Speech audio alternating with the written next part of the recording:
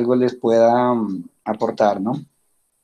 Bueno, en principio les voy a comentar que mm, el taller de ilustración, desde el punto de vista en que lo voy a abordar, va a estar más bien enfocado a la reflexión, ¿no? A la reflexión personal. No tanto desde el punto de vista de, la opinión del docente o del profesional de la ilustración, sino más bien este, desde la reflexión que puede hacer alguien que está dentro del oficio de la ilustración, está muy cercano al mundo del arte, pues también al, mundo de la docencia, ¿no? Y por supuesto al diseño en varias áreas, ¿no? En general. Voy a, a, compartir pantalla con ustedes. Este, yo no veo aquí el icono de compartir pantalla, así que si alguien me ayuda, ya que no estoy muy familiarizado con Meets y me dice desde dónde lo puedo hacer, lo agradecería mucho. Punticos. Los tres punticos que están aquí. A ver.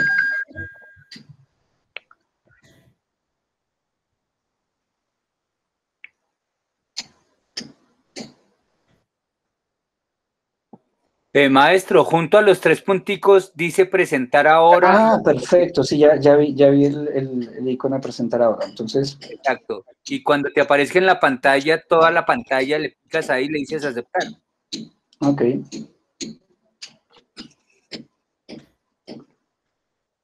Perfecto. ¿Me confirman, por favor, si pueden ver eh, mi pantalla? Sí, señor, ya comenzó a ver. Ah, ok, bueno, perfecto. Entonces, bueno, este, voy a tratar de ser breve, ya que el, tiempo está allí. Em, yo voy a hablar un poco de la versatilidad y, del concepto, ¿no? En relación con, con la ilustración. Eh, técnicas, y más ustedes desde, desde el semillero, este, habrán explorado muchísimas, así que este, todas son válidas, ¿no? Creo que también existe mucho material, este, muchas referencias a las cuales acudir. Sin embargo, este, hay otras cosas que yo quisiera tocar. Pero antes de ello, eh, me gustaría que supieran un poco quién soy yo. En principio, pues soy diseñador gráfico como, como muchos de ustedes. Soy también eh, diseñador industrial. Este es un concepto de, varios que he hecho de vehículos eléctricos para algunos clientes. Este, soy también docente este, desde 1992, sobre todo a nivel superior. Así que pues tengo algún tiempo metido en estas 10. Soy artista plástico también desde hace 36 años. Lo que están viendo allí es una de, mis piezas que pertenece a una serie que se llama eh, Geometría del Color, en donde se incorpora una técnica mixta en, donde hay elementos eh, digitales y elementos eh, pictóricos que pertenecen a, pues a la pintura tradicional, ¿no? Analógica, acrílico, pinceles, óleos en algunos casos. Aquí tenemos una imagen en donde se nota un poco el proceso. Esta es una pieza terminada. Esta es una pieza digital que pertenece a otra serie que también hago de manera analógica.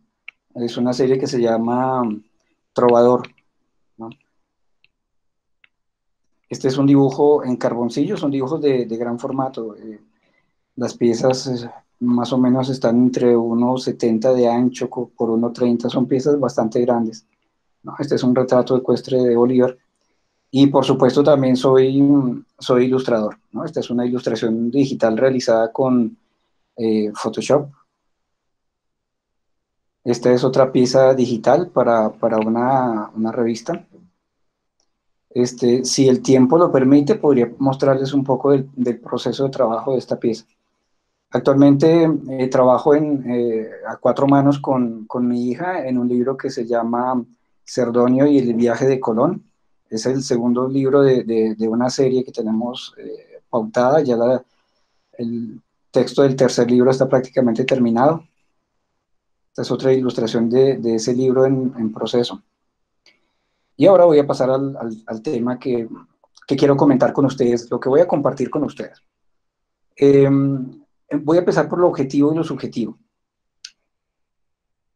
Por lo general, suelo decirle a mis estudiantes de diseño gráfico que hay una división entre las artes puras y el diseño, ya que las artes puras se pueden permitir un espacio enorme, gigantesco para eh, lo subjetivo, mientras que el diseñador gráfico tiene que aprender a dominar un lenguaje que le permita comunicarse con una cantidad enorme de personas que no dominan ese mensaje, perdón, ese lenguaje, pero que lo deben este, comprender de forma instantánea.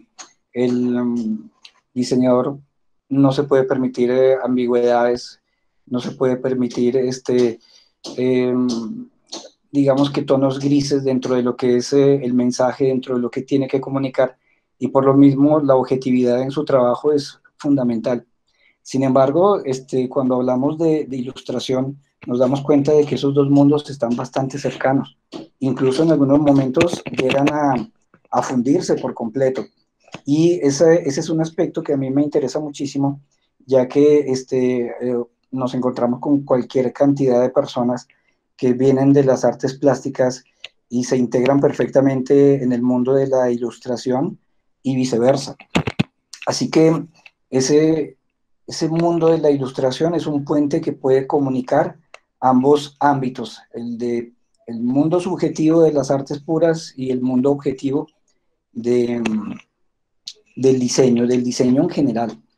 Y cuando recordamos los trabajos de Toulouse-Lautrec, nos damos cuenta de que allí están perfectamente reunidos los dos mundos, ¿no? Está el, el, el arte, este, de hecho su propuesta pictórica, pero también podemos ver este, que es, en algunos casos estaba enfocado al cartel publicitario, a promocionar eh, eh, un evento, y cuando vemos estas obras no pensamos únicamente en que se trata de un cartel publicitario, sino que también es una obra de arte como las otras que, él hizo desde el punto de vista de lo que podemos entender como obra que se va a exhibir en un museo o en una galería. Mm, también me he fijado mucho dentro de esta reflexión que quiero compartir con ustedes en el trabajo que hacían eh, los eh, ilustradores y copistas eh, medievales. Cuando vemos estos libros que se hacían de una forma totalmente artesanal, antes de la invención de la imprenta de tipos móviles por Gutenberg, nos damos cuenta de que aquí también se mezclan perfectamente las dos cosas. Se integra la ilustración con el texto, con la caligrafía, este, hay toda una mística en este trabajo que me parece importantísima, que debería, que debería estar siempre presente en el trabajo que hacemos tanto diseñadores como ilustradores. Eh, esto no tiene nada que ver con el hecho de que las personas que hicieron este trabajo fuesen religiosos en muchos casos, sino simplemente era una forma de, de comunicarse, ¿no? Esa forma de abordar el trabajo, ¿no? Y a eso me refiero con, con la mística. No lo incluí aquí, pero estoy recordando en este momento, por ejemplo, a Hans Holbein, el, joven, que hizo un diseño tipográfico que se llamaba el alfabeto de la muerte, que era una cosa extraordinaria. Y los artistas plásticos en el pasado este, fueron quienes se encargaron de empezar lo que nosotros conocemos hoy formalmente como ilustración así como el Bauhaus en su momento, este, viene a, darle eh, una dirección a lo que es el diseño industrial, a lo que es el diseño gráfico y demás, pues los artistas plásticos en el pasado le dieron inicio a lo que mm, hoy conocemos como, como ilustración en un ámbito tan, pero tan grande. Me gustaría que recordáramos esta, esta obra, yo sospecho que, que todo el mundo la conoce, Espero que la mayoría la, haya leído. Es una obra extraordinaria. La Divina Comedia del señor Dante Alighieri. Es una um, obra fundamental de, la historia de la literatura y de la, y de la historia humana. Quien la haya leído eh, sabrá por su propia experiencia a través de la obra que si esto ha trascendido hasta este momento es porque realmente es eh, una obra de, de valor incalculable me gustaría resaltar eh, estos aspectos de la obra. La mm, estructura de la comedia de Dante es muy compleja, más allá de que esté compuesta por esas tres partes que todos conocemos, el infierno, el purgatorio y el paraíso, eh, que esté compuesta por más de 100, por 100 cantos, perdón, y que cada canto esté compuesto por estrofas de, versos en decasílabos. estoy haciendo referencia a esto porque cada palabra fue cuidadosamente elegida, cada cosa que quiso decir Dante, este, la, la pensó meticulosamente. Dante está diciendo mucho más de lo que nosotros podemos leer superficialmente en esta obra, ya que está llena de significaciones, de cosas que están entre líneas, de, simbolismos que incluso este, hemos perdido por la distancia que nos separa de la obra. Sin embargo, este, nosotros podemos comunicarnos a pesar de la distancia con la obra de Dante y asimilarla, entenderla, disfrutarla, pues como le corresponda a, a cada persona, ¿no? Este, como dice el texto que acompaña esta hermosísima pintura que retrata Dante, aquí había un montón de conocimiento del pensamiento medieval, de la religión, de la astronomía, de la filosofía, de las matemáticas. Y hay una cantidad de personajes históricos, mitológicos y contemporáneos de, Dante, ¿no? Lo cual le trajo algunos problemas. Hay muchas anécdotas al, respecto. Em, cuando una obra de arte tiene un peso como este, incluso eh, para los contemporáneos de Dante, ya que la primera parte de la obra se publicó en vida de, Dante, según cuenta el escritor argentino Ernesto Sabato, eh, no conozco su fuente, eso sí, solamente me limito a, citarlo a él. Nos cuenta Sabato que, algunas personas cuando veían a, a, Dante en la calle lo señalaban un poco asustados porque decían, allá va el hombre que estuvo en el infierno. Aquello tenía tal nivel de realidad para algunas personas, ¿no? Que mm, llama mucho la atención porque eh, nos dice mucho de la presencia que puede tener una obra de, arte, sea de la literatura, sea de la pintura, de, la música o cualquiera de las áreas del, arte. Ahora, yo estoy señalando estas cosas, aunque pareciera que estoy yéndome por las ramas, porque mm, la obra de Dante se ha ilustrado montones de veces, muchísimas veces, y de una forma extraordinaria. Así que dentro de esta reflexión, yo trato de ver cómo algunas personas lograron no solamente comunicarse de una forma íntima con la obra de Dante, sino llegar a, reformularla a través de imágenes, en donde esas imágenes llegan a tener una riqueza que es casi paralela a la obra literaria. Y me refiero concretamente al señor eh, Sandro Botticelli, artista renacentista, por cierto, que la obra de Dante también es particular por el hecho de, ser un puente entre el medioevo y el renacimiento. Prácticamente el, primer, eh, la primera persona eh, históricamente que pisa lo que va a ser el renacimiento es Dante. Y Botticelli hizo una serie de ilustraciones por encargo para la Divina Comedia. También hay muchas anécdotas al respecto que hablan sobre la obsesión que tenía Botticelli por la, por la obra.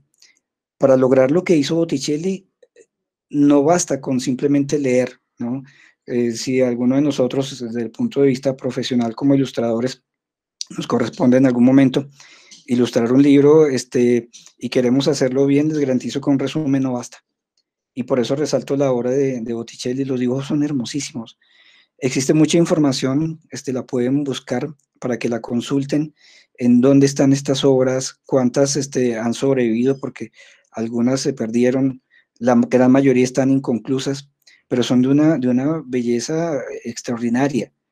Y además este, se integran, como ya dije, al, texto de Dante de, una manera que se convierte casi en un equivalente gráfico de lo que está contado en, los versos de, de este maravilloso poeta. Sin embargo, no fue este, el único, eh, Dan, este, perdón, eh, Botticelli, el único en, eh, hacer de la comedia una obra maravillosa desde el punto de vista gráfico.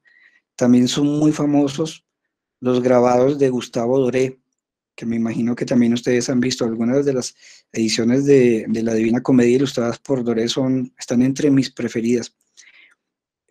Aquí también hay un peso importantísimo en el hecho simbólico, no es solamente una cuestión de dominio técnico de del grabado, este, no es solamente el virtuosismo de, de Doré a la hora de, dibujar, de imaginar este, lo que escribía Dante en los textos, sino también este, el ir un paso más allá y añadir parte de ese simbolismo que este, las, las personas eh, más sensibles ¿no? y más eh, observadoras pueden captar. Cada uno de los grabados de, de, Doré es en sí una obra de arte, es una cosa maravillosa. Yo les pido a quienes no hayan tenido la oportunidad de, de verla, de ver los grabados, eh, preferiblemente en una edición de buena calidad, miren, háganlo porque lo van a disfrutar muchísimo y cada una de estas imágenes es toda una escuela. Se puede aprender un montón. ¿no? Aquí hay una cantidad de detalles que están ocultos que mm, vale la pena descubrir. Cuando nosotros vemos estos grabados y los vamos analizando minuciosamente, nos fijamos en las expresiones de los rostros, en las texturas de, de las piedras, en el paisaje, en la iluminación, en la composición. Es una cosa maravillosa. Es parte de lo que, de lo que yo creo que deberíamos eh, hacer nosotros y, procuro que el amor que eh, uno puede llegar a sentir por la obra de estos hombres extraordinarios, estos artistas maravillosos, eh, se impregnen en alguna medida este, en las personas que, que ven el trabajo que, que, nosotros hacemos y el que también se puede hacer, por supuesto, desde la docencia. También tenemos este otro señor que es toda una personalidad, el señor William Blake, porque aparte de ser eh, artista, aparte de ser ilustrador, era también eh, poeta, un extraordinario poeta, así que podía comprender perfectamente a Dante. Y además era un místico, ¿no? Su poesía está impregnada de misticismo y no es un misticismo superficial. Eh, William Blake este, eh, había ahondado muchísimo en el tema y podía comprender de una manera muy particular la obra de Dante, ya que la obra de Dante también está llena de, de, de ese eh, misticismo reflejado en los símbolos que aparecen en la obra y, a los cuales eh, sigo haciendo referencia porque son mucho, mucho más importantes de lo que, de lo que parece.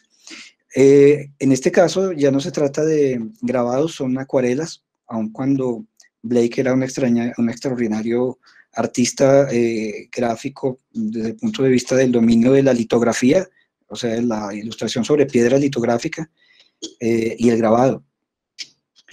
Entonces estas imágenes poseen ese nivel conceptual que quiero que, que, se capte dentro de lo que dentro de lo que estoy compartiendo con ustedes. Todas estas obras son eh, o fueron hechas con un cuidado extraordinario. Ya les dije, no solamente están los aspectos eh, técnicos y el virtuosismo del artista, está toda la parte conceptual que creo que es la que quiero resaltar sobre todo en esta parte de, de esta exposición. Está también este otro señor, el señor William Adolf Borgrau, que también tocó el tema de una manera magistral. Cuando vemos esta, esta obra, eh, miren, es prácticamente como si tuviésemos la posibilidad de trasladarnos este, junto con Dante y Virgilio a cualquiera de los círculos, de los nueve círculos de la topografía del, infierno. Es una cosa increíble, es de, el nivel de dramatismo, la manera como los cuerpos se contorsionan, la tensión que hay allí, los rostros de Dante y Virgilio, el demonio que está al fondo, la atmósfera, el tratamiento del color, es una cosa maravillosa. Aquí hay una cantidad de, de particularidades que mm, hay que buscar, que hay que tratar de que también estén presentes en alguna medida en el trabajo que hacemos. Finalmente, este, voy a mostrarles la interpretación del señor Salvador Dalí eh, de la obra de Dante. No, no son los únicos artistas de, de altísimo renombre que han eh, eh, ilustrado la comedia, ¿no? Hay otros que no incluí, como Miquel Barceló, por ejemplo. Estas son eh, acuarelas. Son una, cosa verdaderamente preciosa en donde además eh, podemos captar otro aspecto importante y es el hecho de que esa personalidad tan particular ¿no? De Salvador Dalí está presente en las ilustraciones de la obra de, de, de, otro, de otro personaje genial como lo fue Dante. ¿no? Y aquí podemos entrar entonces en lo que tiene que ver con los estilos. eh, a muchos eh, ilustradores les preocupa el estilo. Es bueno tener un estilo, pero es bueno también ser versátil. Sin embargo, aquí podemos ver cómo el estilo de, Dalí este, se integra perfectamente a las eh, ideas expresadas en los versos de Dante. Ahora este, vamos a hablar un poquito del lenguaje, aun cuando en alguna medida eso ya está presente en lo dicho previamente. Mm, también porque obviamente la ilustración, ¿no? Este, como lenguaje comunica un montón de cosas que podríamos decir a lo mejor sin exagerar que pueden ser infinitas, cualquier cantidad de cosas que no se nos ocurren, pero hay una cantidad de cosas también que eh, cumple dentro de diferentes ámbitos y eh, uno de los más interesantes tiene que ver con el arte concepto. Este señor Esquino eh, Cialaba, este señor es un artista de concepto, tuve la oportunidad hace unos años de estar presente en una de sus conferencias y eh, pues tiene una trayectoria asombrosa este señor. Y las cosas que contaba este, eran muy útiles para entender lo que tiene que ver con el, el mundo del arte concepto. Hice una lista muy resumida, ya que el currículum de este señor, su trayectoria es, es impresionante. Algunas de las películas en donde ha trabajado como artista de concepto son eh, Alita, Star Trek 3, eh, Sin City 2, Thor 2, Star Trek en la Oscuridad, Oblivion, Capitán América, Hugo, Snow White, Avengers, Skyline, Game of Thrones, o sea, es, y, y, la lista sigue y sigue. Yo solamente coloqué eh, algunos títulos de, películas en donde él trabajó para poder dar una idea del nivel en que está este artista de, concepto. En, esa conferencia que les mencioné hace un momento, Kino Ciabala eh, decía que a veces él tenía que reunirse con el director de, de una película y en algunas ocasiones el director estaba muy claro en lo que quería, así que él le daba una serie de pautas a Kino para que pudiera trabajar pero otras veces el director no estaba muy claro en lo que, lo que quería, tenía imágenes muy vagas de cómo debía ser la película de la cual era responsable, y a él le tocaba este, generar las ideas. Muchas veces eh, estar sentado con el, el, director de la película, este, tener un portátil en la mano, una tableta gráfica y comenzar a esbozar, a esbozar ideas. Digo esto porque el papel que hace el artista de concepto eh, para el cine, para la televisión, para los videojuegos y para ese amplio ámbito en el, que se desenvuelve, va más allá de lo que imaginamos. Lo que estamos viendo en este momento son trabajos de Kino. Esto es Kino de Ciabala. ¿no? Algunas de sus cosas lo pueden buscar. Este, está en las redes, está en algunas plataformas de ilustración. Pues va a ser muy sencillo que, encuentren su trabajo. Entonces, cuando digo que, el artista de, de concepto eh, llega a, generar mucho más de lo que uno imagina dentro de lo que puede ser cualquiera de esos ámbitos que mencioné y en particular el cine, es porque cuando nos fijamos en el trabajo que se hizo a nivel de arte concepto para El Señor de los Anillos, por ejemplo, que estamos viendo el trabajo del señor Gus Hunter, nos damos cuenta cómo estas personas son las que trabajan este, el, el ambiente que tiene que haber en, en una determinada escena, este, cómo debe ser la temperatura del color, eh, son quienes conciben en principio este, la organización de, de, los elementos en las diferentes tomas. Es un trabajo enorme que a veces este, no se nota, pero detrás de muchas de las películas que nos gustan, tanto en lo que es el cine más comercial como en lo que denominamos eh, cine de arte, este, el papel de estas personas es eh, preponderante. Muchas veces ellos son los verdaderos genios detrás de, mm, de, la magia que se logra en, una película. Y como ya dije, es un trabajo que tiende a pasar muy, muy por debajo de la mesa, ¿no? Pero que sigue siendo muy importante. Ustedes pueden encontrar también abundante material este, en la web. Hay una cantidad de libros publicados sobre el arte concepto de diferentes películas. Fíjense que en este caso estamos viendo el trabajo que hizo sobre la, escena de la pesadilla de Saruman, el señor eh, Jeremy Bennett. Em, en algunos de los libros de arte concepto del Señor de los Anillos, este, vemos un montón enorme de variantes de, mm, del Gollum, del personaje del Gollum. En este caso estamos viendo una versión de Ben Potten, em, Y cuando podemos ver esa enorme variedad, nos damos cuenta de que es la imaginación del artista de concepto el que eh, crea la posibilidad de que finalmente veamos un, producto de alta calidad como corresponde a, las películas que estoy mencionando, ¿no? Esa trilogía maravillosa. Eh, otro de los genios detrás de, la película es el señor Alan Lee. Tal vez ustedes recordarán que al final de, las películas del Señor de los Anillos, y si no recuerdo mal también en el caso del Hobbit, em, en la parte que corresponde a los créditos colocan buena parte de lo que fue el arte concepto de estas películas, porque Peter Jackson quiso resaltarlo, pero en muchas otras eso no se, no se nota, pero está allí, ¿no? Y es la base este, de preproducción sobre la cual se edifica lo demás. Así que en estos casos, el artista de concepto, ¿no? Como su nombre lo indica, es más que un mero técnico habilidoso del dibujo o de cualquiera de las otras técnicas que se utilizan para, para plasmar estas imágenes. Es el verdadero creador, ¿no? Detrás de esos mundos fantásticos. Ya que, que este, hice referencia a lo que son pues las, las, las, técnicas que, a las que pueden recurrir los artistas de concepto, me gustaría referirme un poquito más a ello, pero también sin olvidar la parte del lenguaje, ¿ok? Ya que este, eh, un ilustrador no es otra cosa más que un comunicador, alguien que se comunica a través de un lenguaje gráfico. Esta pieza que estamos viendo es Carboncillo, es del señor Stefan Saisist, ¿no? Y nos damos cuenta de que recorre a una técnica analógica que tal vez sea una de, las más eh, antiguas. Esta técnica acompaña al, hombre pues, desde los albores de la humanidad y sigue estando presente, sigue estando vigente, sigue estando siendo válida y se puede enfocar de muchísimas maneras. Aquí podemos ver una acuarela de la señorita Gina Rainey.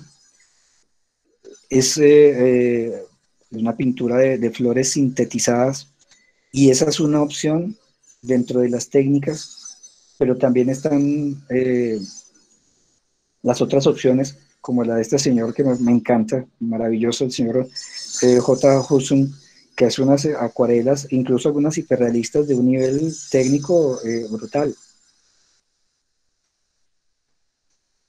Está la ilustración o las ilustraciones de Claire Michigan, eh, que son eh, lápices de colores sobre papel. Como ustedes se darán cuenta, el, nivel técnico es, es muy alto. estoy mostrando esto porque las opciones son, son tantas, pero tantas, y los niveles de calidad son tan altos en algunos de estos artistas que realmente llegan a ser incluso apabullantes. Este señor seguramente lo conocen, es muy famoso, el señor Marcelo Barenghi, un italiano, y esta es una ilustración con técnica mixta. ¿no? Aquí hay un poquito de todo, aerógrafo, lápices de colores, eh, eh, acrílico, eh, marcadores, se vale de todo para hacer estas ilustraciones.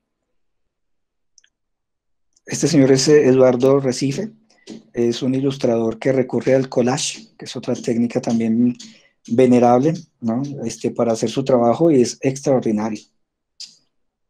Luego tenemos a este otro señor que me encanta, este, me imagino que lo deben conocer.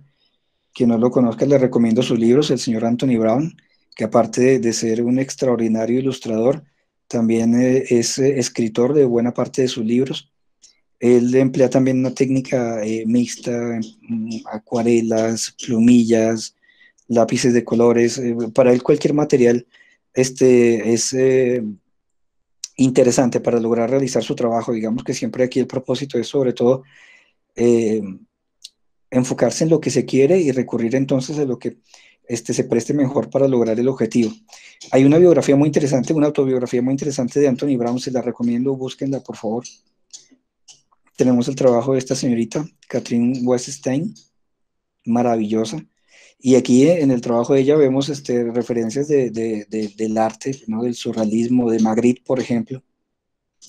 Y pasando a lo que tiene que ver con el arte digital, este, entre otros muchísimos, porque son muchos, está Ali Yachen, un estilo sumamente diferente. En el caso de Bipin Jacob, Ulop, que es extraordinario. También hay montones de, de, trabajos suyos en la internet, eh, tutoriales, eh, tiene una cuenta en YouTube. Hay muchísimo material que se puede encontrar con un nivel técnico muy alto dentro de cualquiera de las técnicas que les estoy mostrando. Está el señor Andy Park, el señor Stanley Lau, que es extraordinario también. Dentro del cómic, este, eh, Marte García, que trabaja para DC y para, para Marvel dentro de lo que tiene que ver con la integración de, eh, fotografía con, ilustración, el señor eh, Vladimir Fedotko. Dentro de lo que tiene que ver con la escultura digital, este eh, colombiano extraordinario por demás, es el señor Caleb Nefsen. Este trabajo está hecho con ZBrush, ¿no? es una cosa extraordinaria. él, lo ha hecho tanto para eh, piezas que se producen tridimensionalmente de forma serial como para ilustración. Les he mostrado una serie de, variantes eh, técnicas, pero de nuevo, este, reitero, lo más importante siempre va a ser lo que está detrás.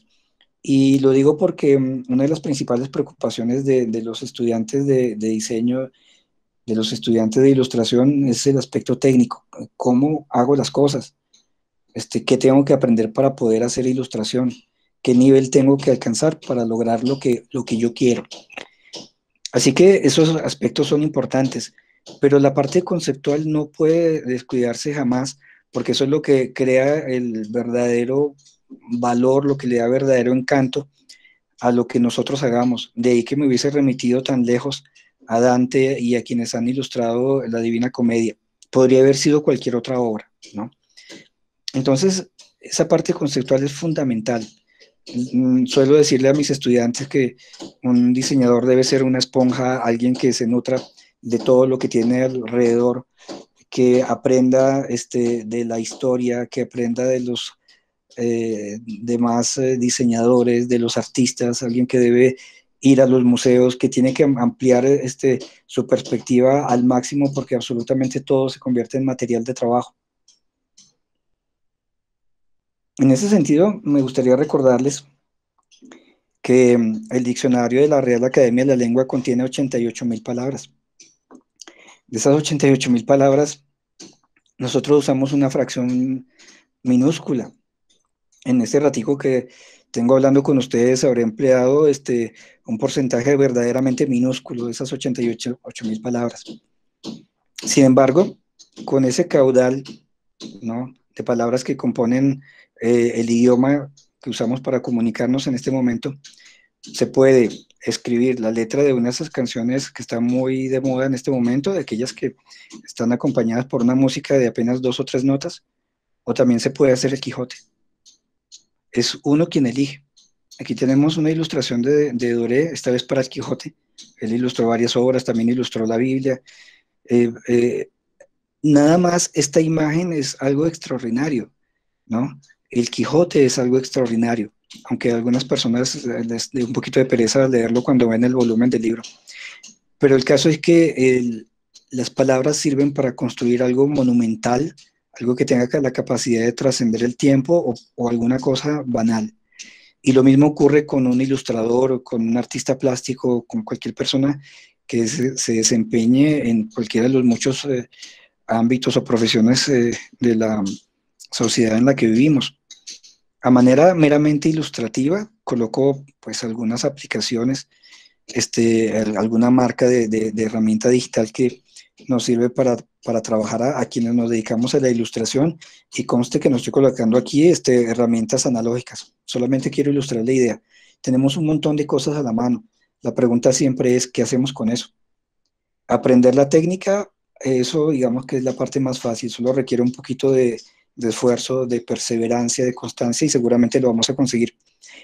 Pero la otra parte, la parte del manejo conceptual, la parte de lograr integrarnos a, lo que vamos a hacer, que en el momento en que vamos a, a, ilustrar eh, este, un libro, un cuento, un cartel o cualquier cosa que a ustedes les ocurra en este momento, realmente haya la capacidad de meternos dentro del problema, de em, lograr plasmar gráficamente el concepto este, que debe estar representado allí, la parte simbólica, la parte intelectual, es fundamental dentro del proceso de, diseño y dentro del proceso de, trabajo de un ilustrador.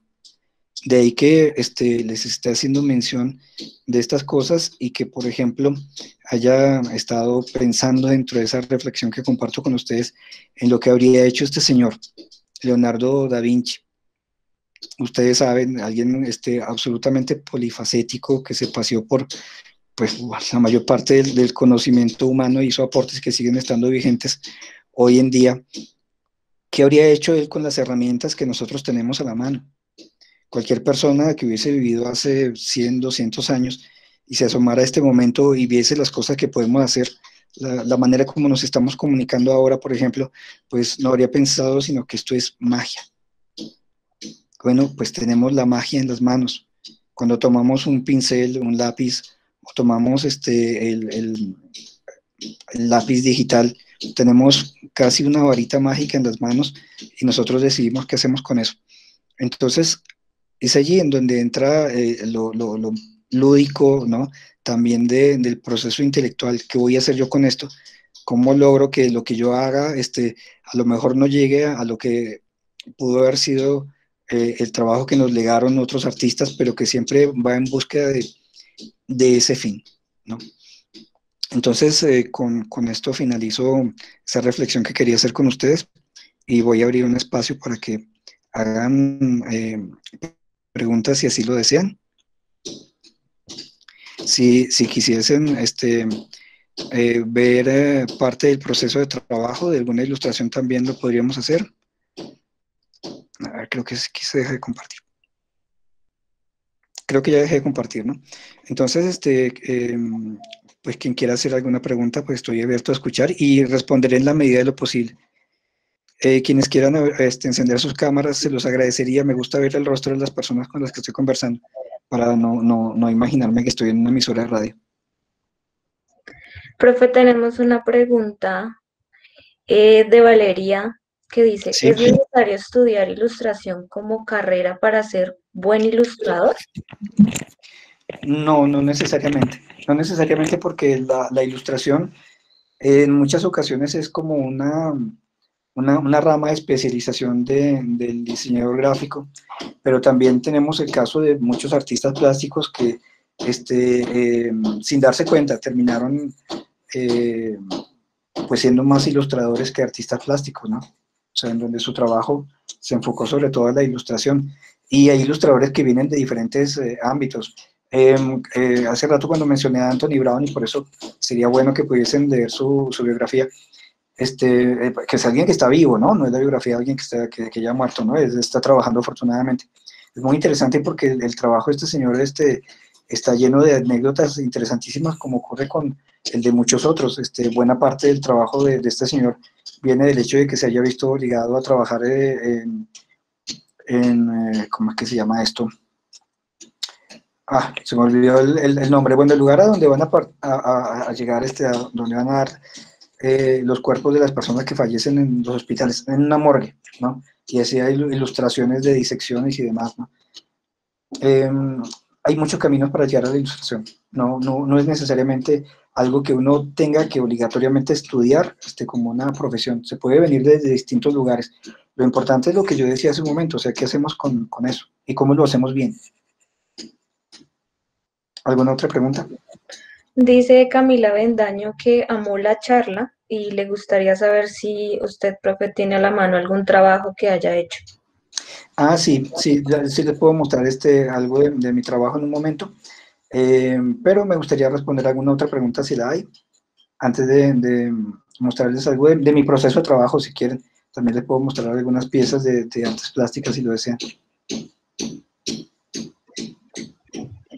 Por ahora no tenemos ninguna pregunta en el chat, profe. No sé si alguien tenga alguna pregunta. Ah, ok, bueno, entonces vamos a compartir nuevamente.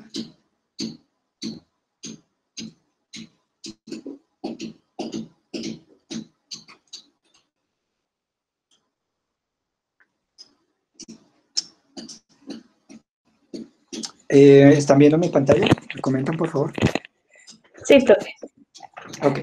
Bueno, lo que estamos viendo aquí es, simplemente una imagen que va a, servir para que tengan una noción de de, uno de mis procesos de trabajo, porque en realidad yo puedo trabajar de, de muchas maneras diferentes y, y, no estoy atado a, a, ninguna. ¿no? Eh, para mí todas las técnicas son, son interesantes. Esta es una ilustración que se hizo para una revista de, de CEART, la universidad en donde también estuvo este, eh, Alicia Cuchimaque. Miren, esto es Photoshop, ¿no? Y aquí lo que tenemos simplemente una primera capa en donde lo que podemos ver es el dibujo. En este caso el dibujo fue hecho de manera directa eh, sobre, sobre el documento. Eh, como ustedes podrán darse cuenta, es línea valorizada, hecha con un pincel de lápiz, pudo haber sido cualquier otro pincel. Eso es indistinto. Yo utilizo pinceles eh, con una configuración eh, que reconozca la sensibilidad de la tableta, porque de la pluma de la tableta, del stylus, eh, por el hábito de, dibujar analógicamente, pues es lo mismo que consigo con los lápices. ¿no? A mí me encanta dibujar con, con, con lápices, con carboncillo y, y, la línea valorizada para mí es importante, así que desde el principio esto está dibujado como, como línea valorizada. La pieza este, era para ilustrar un cuento eh, de la profesora Dayana, Dayana González, creo que es, olvidé el apellido de ella. Si me está escuchando o se llega a enterar, bueno, que me disculpe si, si me equivoqué con su apellido, pero el, el, el, aprecio que le tengo sí, sí no se olvida. Bueno, este, la obra está eh, inspirada en el surrealismo, o sea, nuevamente nos remitimos a, a la historia del, arte, ¿no? El cuento de, de, de esta eh, excelente escritora y docente es de carácter surrealista, así que la imagen se pensó de esa manera. Em, a la imagen le agregué un fondo gris, ¿ok? Para que pudiera comenzar a trabajar sobre eh, el dibujo. Al dibujo le añadí un fondo, ¿ok? Es un fondo muy sencillo, un fondo hecho con degradados eh, en, Photoshop. Y em, fui añadiendo elementos como por ejemplo la cerradura. Ya les voy a mostrar algo más. Yo en este tipo de pieza trabajo por pedacitos. ¿no? Voy añadiendo em, zonas este, eh, con iluminación, con claroscuro, luces y sombras, exactamente lo mismo que veían este, con, con el, lápiz o con el carboncillo o con los pinceles, es lo mismo, son los mismos principios. Una persona que, que, quiera hacer ilustración digital dentro de lo que tiene que ver con esta forma, ya que pueden haber muchísimas, ¿no? Y hay algunas ilustraciones que son síntesis de, de, la realidad como la conocemos, que son maravillosas, magistrales. Este, pues hay que pasar, eso sí, por, por el trabajo analógico, haber aprendido a, a, dibujar, entender este, el comportamiento de, de la luz, este, poder reproducir una textura que no puede hacer analógicamente, lo va a poder hacer digitalmente porque es lo mismo, ahí no hay diferencia, ¿no? Así que pues ahí están viendo ustedes cómo está trabajado con eh, un pincel. Voy a mostrarles el pincel, tal vez se les pueda parecer interesante. Vamos a colocarnos en una capa que no esté bloqueada para que me, me permita mostrar el pincel. Miren, este es, este pincel, ¿no? El, de flujo de capacidad eh, de presión eh, circular suave es este pincel. Simplemente este, eh, se lo toma, se le, se le, asigna este, la transferencia para que, para que reconozca la, la presión que ejercemos sobre el stylus y si así lo desean, también para que se convierta en, en, un trazo que de repente aumente o disminuya su grosor en la medida en que vamos aplicando el pincel, pues le pueden añadir una, una dinámica de forma. Pero bueno, ese es el pincel, con eso fue que se hizo esto, no, no es nada del otro mundo. Ese pincel viene preinstalado eh, en, en, Photoshop, así que no, no tienen que ponerse a buscar ni con ningún pincel especial, ni fabricarlo ustedes también. Eh, eh, ustedes que también se puede. Y este, pues así, vamos a dejarnos un poquito. Y así mismo pues fui añadiendo elementos. Fíjense que el, el paraguas está trabajado de forma independiente, eso es lo que permiten las herramientas digitales, poder independizar una, un objeto de otro y poder este, reeditarlo las veces que queramos sin necesidad de tener que comenzar a, a, hacer la pieza nueva. Ustedes están dando, dando, cuenta de que esto está trabajado en una escala de grises. Cuando digo escala de grises me refiero a, a los tonos que van desde la ausencia de la luz, o sea, los puntos más oscuros, hasta la totalidad de la luz, que son los puntos más blancos, ¿no? Son los, los que son totalmente blancos. No me refiero a trabajar aquí dentro del modo de, em, escala de grises, ¿no? Esto no porque escala de grises obviamente no les va a permitir agregar ningún color. Simplemente digo escala de grises desde el punto de vista de ir de la ausencia de la luz a la totalidad de la luz y tratar de colocar todos los tonos intermedios este, que puedan haber para lograr la ilusión del volumen. Entonces, aquí todo lo estamos trabajando en blanco y negro, como, como se diría este, eh, comúnmente. ¿no? Y voy añadiendo los, los diferentes eh, elementos de la composición, todo trabajado de la misma manera, para posteriormente este, añadir el color. Lo que está aquí, de hecho, es este, un papel arrugado. Este papel arrugado eh, lo hice de la forma más sencilla, agarré un papel, eh, una hoja carta, la arrugué, la puse en un escáner, este, eh, la digitalicé y luego la, incorporé a, a, la imagen. ¿Ok? Y lo que tenemos aquí, pues es parte del texto del cuento.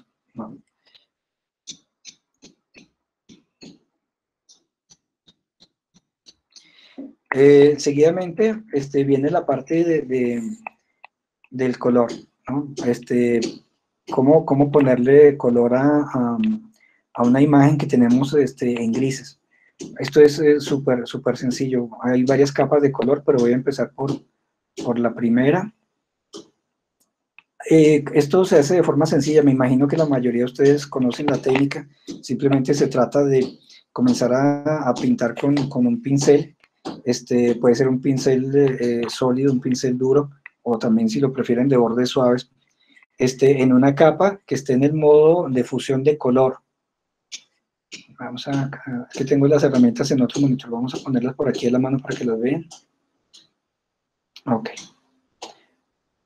Aquí está. Este modo de fusión de color, ahí está. Es así de sencillo. Si yo coloco esto en el modo de fusión de capa normal, se ve así. Simplemente este, jugar con, los modos de fusión de capa. En este caso, pues es el modo color, para que la capa se transparente, tiña los grises que están detrás, impregnándolos de color.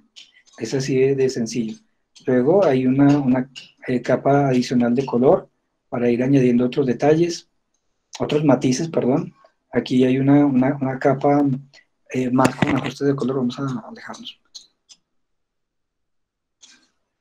Eh, algunos ajustes de color, en este caso con eh, la capa, una capa que es para intervenir la parte de la camisa, en el modo de fusión de luz suave, luego algunos toques o ajustes de color, este, de la misma manera, solamente que con la capa en el modo de fusión multiplicar, y finalmente un ajuste con eh, una capa de ajuste de curvas, ¿no? para aumentar el, contraste de, la imagen. Es, es sumamente eh, sencillo el, proceso. Digamos que la, la, complejidad aquí tal vez esté un poco en, primero, este, la, concepción de la imagen, que es lo que queremos decir nuevamente, en dónde va a estar el, concepto. Este, luego la parte de de la composición, ¿no? Aquí hay todo un trabajo rítmico de composición, obviamente hay un trabajo de, color, este, luego está el trabajo de, dibujo, dibujar este, el personaje, y luego ir haciendo el trabajo de, estudio de las luces y las sombras, asignar una, una, zona desde la cual va a provenir la luz, y trabajar siempre en función de, esa fuente de iluminación para, para que la imagen sea coherente. Eh, e ir jugando. Hay cosas que, que, se van también resolviendo sobre, sobre la marcha, no todo está 100% eh, preconcebido, hay muchas cosas que, que, se van cambiando sobre la marcha porque sencillamente son ideas que al principio pueden parecer buenas y que después resulta que no funcionan. Así que aquí hay algunas capas que ustedes no ven porque sencillamente las eliminé dentro del proceso porque no cumplieron con, con la, la, expectativa que tenía en la imaginación. A la hora de, de probarlo gráficamente no funcionó y pues se eliminó. Em, como puedo escucharlo, si quieren hacer alguna pregunta con respecto a, este proceso de trabajo o algún otro, pues soy todo Dios y les responderé en la medida de lo posible.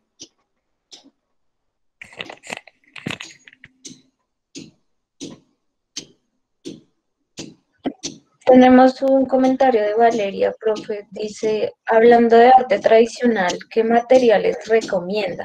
Ya sea acuarela, marcadores, eh, para tener buena calidad de trabajo. Em, pues es una, una, pregunta difícil de contestar, porque la respuesta es todos, todos. No hay, aquí no, no hay excepción. Digamos que, que lo que ocurre con las, las, técnicas es que hay ocasiones en que algunas personas se identifican más con algunas técnicas que con otras. Hay personas que se desenvuelven muy bien este, recortando y pegando y hacen unas cosas maravillosas, como algunos de los trabajos que les, les enseñé dentro de la presentación. Pero miren, todo, todo es eh, eh, válido a nivel de, de, materiales. Eh, pueden recurrir a, fotografías intervenidas, pueden utilizar este, pasteles, tiza pastel, acuarela.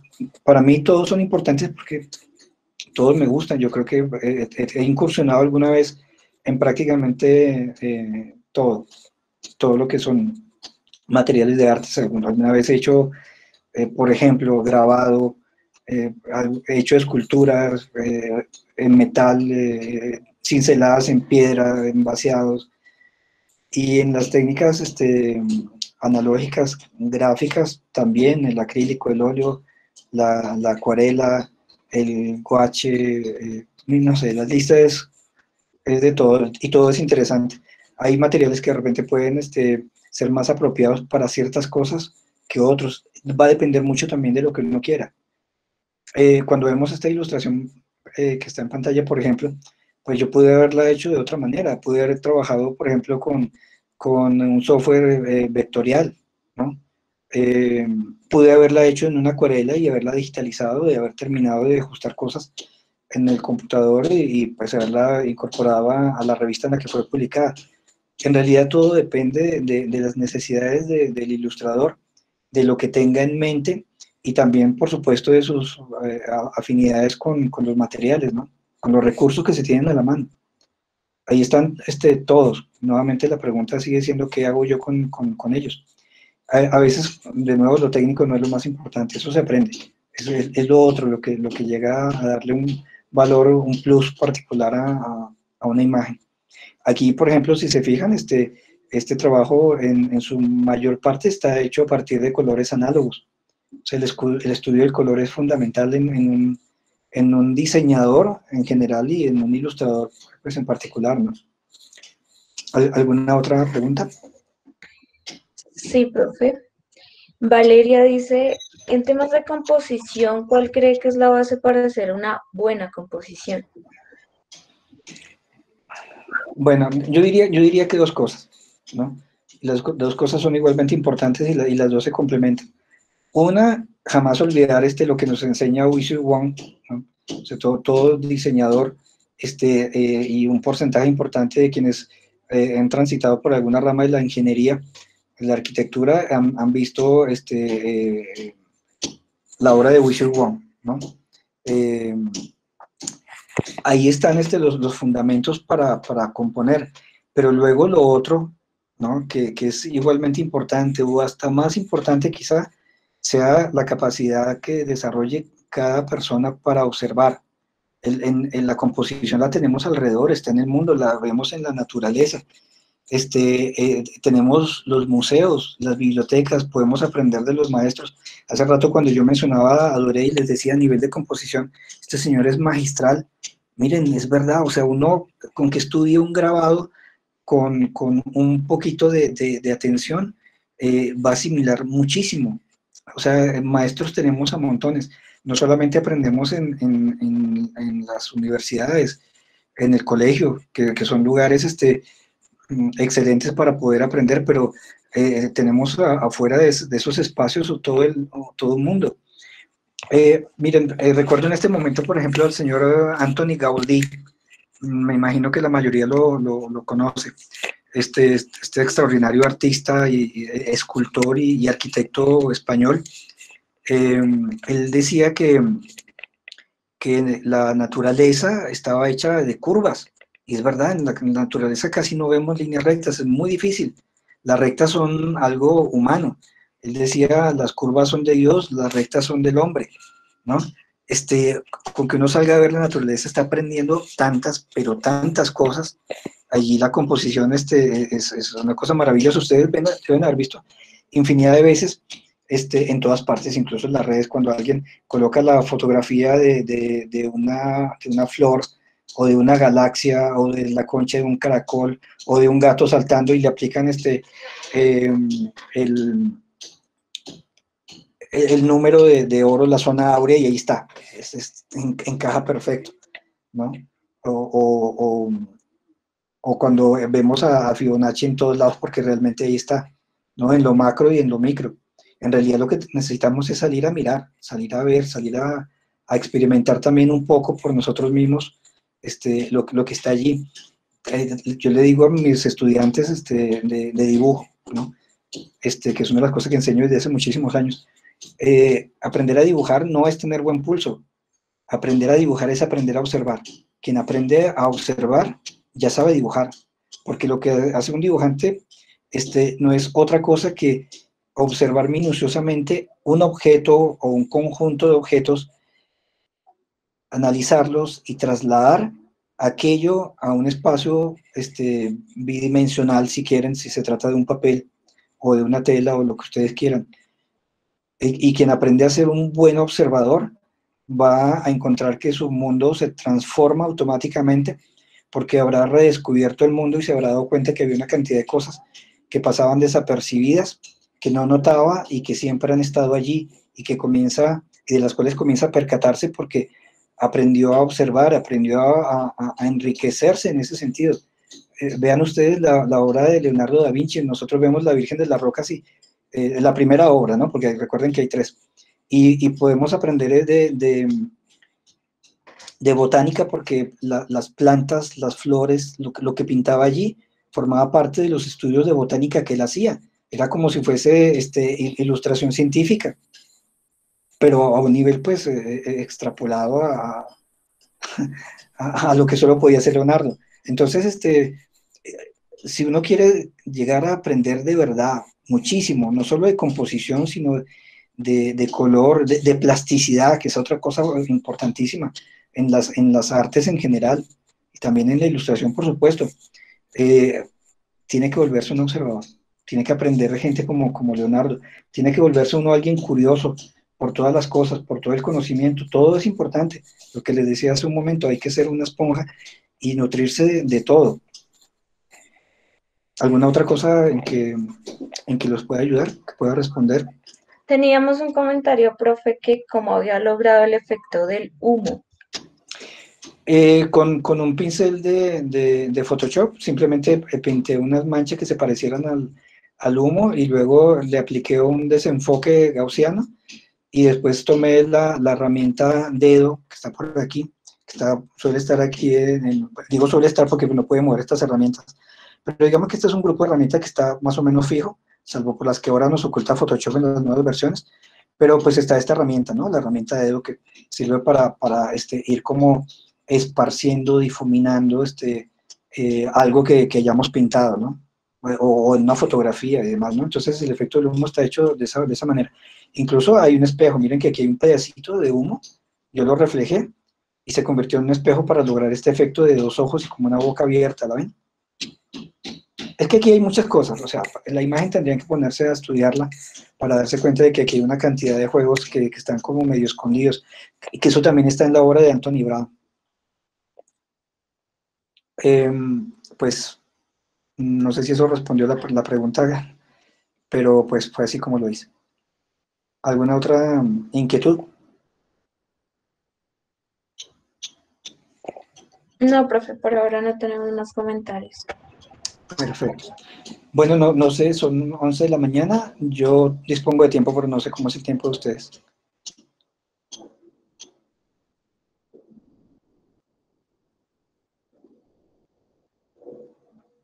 Maestro, eh, no, si usted quiere compartirnos algo más, bien, bienvenido sea, no hay, ni, no hay ningún lío, tranquilo. Eh, bueno, este voy, déjenme mostrarles algo, está por aquí. Aquí tenemos, creo que pues, esto es, esta es mi página de, de, Instagram, solamente como para que tengan una, una semblanza, ¿no?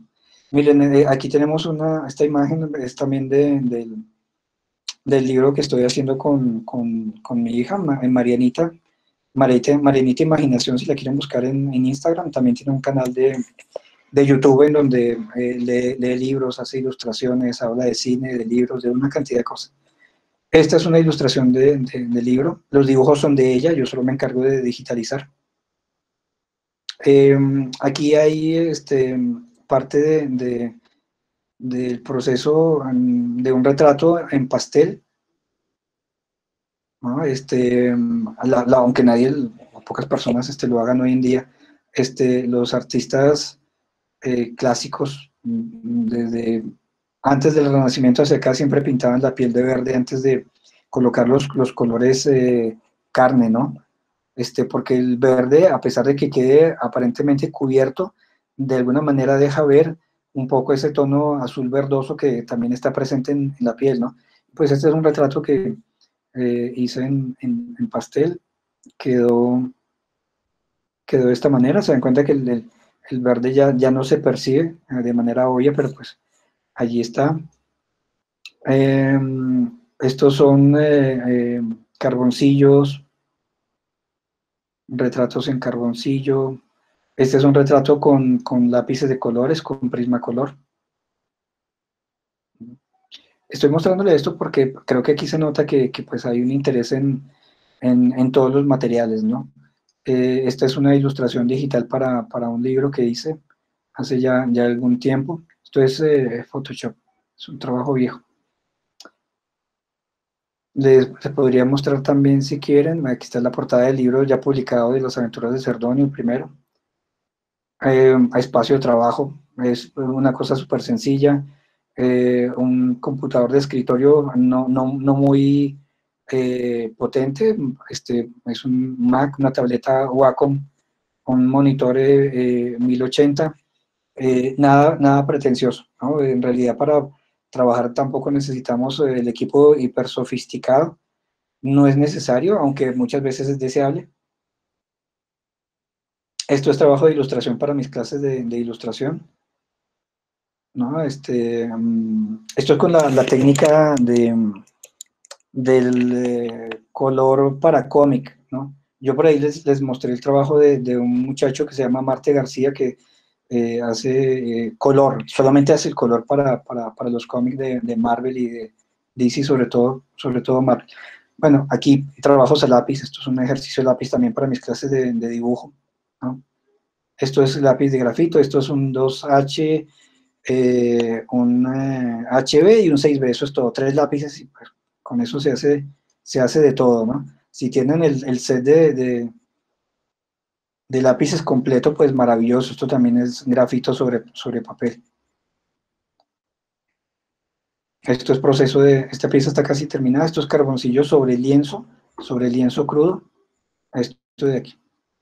Ah, entonces, pues ahí este es un, mini video en donde se, se ve la, la aplicación de, del carboncillo, esto es una barra de carboncillo. Esta pieza la terminaré en estos días, así que la publicaré por este medio. Esta es la portada de otro libro que hice con, con Germán Esquivel, con mi hermano. Esta es una pintura en acrílico, una pintura bastante grande. Entonces acrílico sobre lienzo, miren, esta pieza mide 1,48 de alto por 1,69 y pues es con una técnica estrictamente tradicional, ¿no? Pin pincel y pintura y bueno, este el tiempo que haya que dedicarle a ello. Eh, lápiz sobre, sobre, esto es lápiz sobre el lienzo crudo, ¿no? La técnica en realidad puede ser cualquiera, todo depende de lo que, lo que, lo que deseemos hacer en, en, un momento dado. Así que bueno, este, esto le da una, una, una idea un poco de que este, todas, las, todas las técnicas este, las podemos explorar, de todas podemos aprender alguna cosa y, y todas nos van a servir en particular para, para algo eh, específico dependiendo de lo que nos hayamos propuesto. En ilustración también eh, muchas veces utilizo elementos, eh, voy a aprovechar para mencionarlo con esto, elementos que están hechos en un software 3D y los incorporo a Photoshop. Eh, este es un barco, es una, una, carabela eh, del, del, siglo XV. Eh, yo la tengo hecha en, en 3D, en un programa 3D, porque en el grupo de ilustraciones que estamos haciendo con mi hija, eh, aparece, eh, digamos, vista desde distintos ángulos. Y facilita muchísimo el, el trabajo de, de, la representación del objeto desde distintas vistas, pues si la tenemos en, en, en un programa 3D que nos permita eh, rotarla y verla desde donde queramos y luego simplemente este, eh, paso a, a, a, una exportación 2D, este, cualquier vista que me interese de, del objeto tridimensional y luego lo, lo incorporo. Ese es un, ese es un recurso de, de válido de la ilustración, mucha, mucha gente lo hace. También por eso quise incluir al señor Caleb Nefsen este, y sus trabajos con eh, ZBrush, que es otro, otro software con el que también he hecho alguna cosa en algún momento, pero no tengo nada a la mano para mostrarles.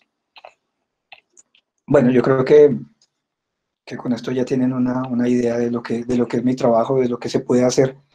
Y, y si ustedes comienzan a, a, a buscar eh, de forma curiosa, como le corresponde a cualquier persona que incursione dentro del mundo de, de la creatividad, van a encontrar eh, eh, las obras de cualquier cantidad enorme de personas con un nivel de calidad bastante, bastante alto. Y ahí también este, voy a repetir algo que le he dicho mucho a, mis estudiantes a lo largo de mi trabajo como docente. Cuando busquen referencias, busquen siempre a los mejores y búsquenlos para, para ver el nivel al que llegaron sobre todo.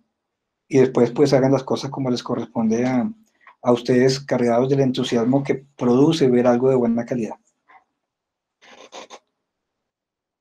Bueno, voy a dejar de compartir pantalla. Ah, ¿Podría preguntar una última cosa? Sí, sí, claro, por supuesto. Eh, en temas de prácticas de anatomía, ¿qué recomienda o cómo lo practicó usted? Eh, a ver, eh, existen este, cualquier cantidad de, de, libros este, que enseñan anatomía, pero, pero la, mejor forma de aprender anatomía es, dibujando la figura humana. Eh, cuando, cuando era estudiante dibujé muchísimo, muchísimo, muchísimo con modelos, este, tanto hombres como mujeres, modelos que estaban allí in situ, ¿no? Dibujar del, del, del natural, ¿no? Eh, y, eso es el principio. Luego, sí es importante este, entender un poco la distribución de los músculos, porque lo contrario, cuando querramos hacerlo sin una referencia al lado, va a ser difícil si no tenemos una, una noción de dónde están al menos los músculos más importantes. Este, y todo esto va, por supuesto, ligado a, la, a la, proporción. Eh, ustedes saben que en el caso de gente como, como Leonardo, como Miguel Ángel, pues ellos lo, lo hacían este, eh, de forma muy directa, aprendiéndolo en la disección de, cadáveres, ¿no? De hecho, pues los estudios anatómicos que dejó Leonardo siguen siendo válidos y todavía se, se estudian en, en las universidades, pues para quienes están estudiando medicina, ¿no? eso sigue, sigue estando allí, ¿no? Entre los muchísimos, muchísimos aportes de Leonardo. Entonces, bueno, yo lo he hecho así. Sobre todo, enseña a dibujar, dibujar el cuerpo humano. Y luego lo otro, este, complementar eso con, con la comprensión de, de, la distribución y forma de, de, la, de los músculos en el cuerpo. ¿Alguna otra pregunta que quieran hacer?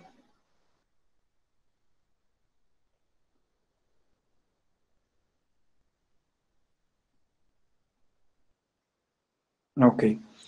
No, profe, por ahora no tenemos ningún otro comentario.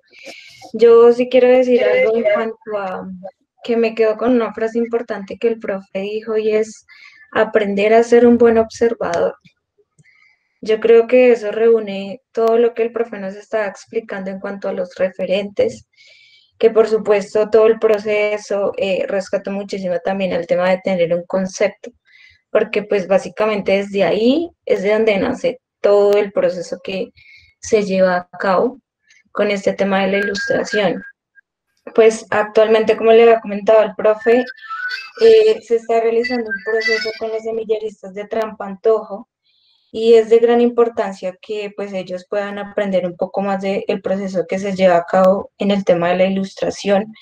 Hemos realizado un proceso de investigación nosotros en cuanto a los ilustradores sostenibles, pues bien sabemos que la ilustración pues abarca todos los temas y problemáticas, o sea, no solamente es como que se ve algo bonito, sino que transmita de verdad un, un concepto y que pues ellos puedan conocer pues todos estos referentes que el profe nos mostró tan importantes y el trabajo que ha llevado a cabo también el profe eh, durante su, su, carrera como docente, como artista y como ilustrador. Yo agradezco muchísimo, profe, la charla, realmente muy interesante y no sé si alguien tenga pues otro comentario, alguna pregunta para, para cerrar.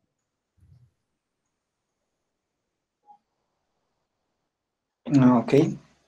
Bueno, entonces este, me, me despido, pero antes de, hacerlo, pues dejo una última reflexión.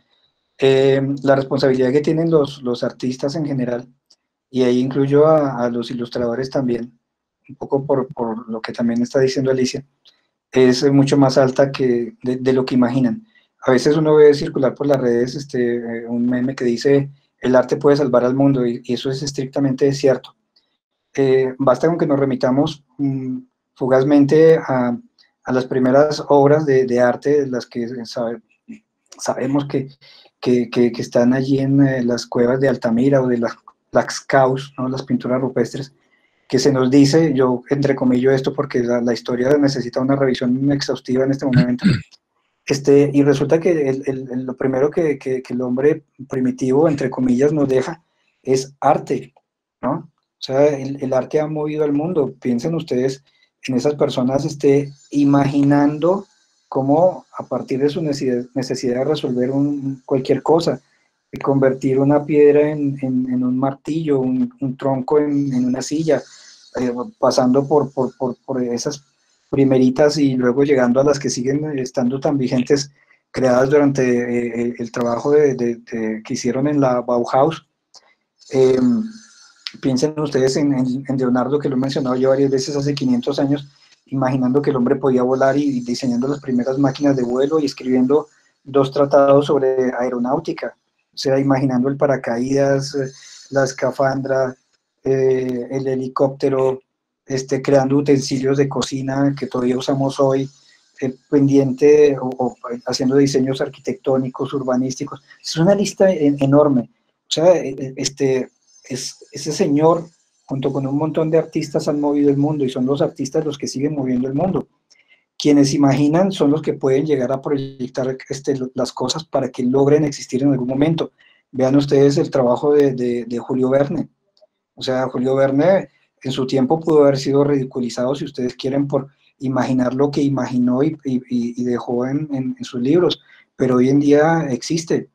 Son los artistas los que imaginan las cosas este, el, llegar a las estrellas no, no, no es el producto de, de, la imaginación de alguien que vive embotado en el estrés del mundo eh, contemporáneo, sino alguien que es capaz de, de, ir con su imaginación mucho más allá, ¿no?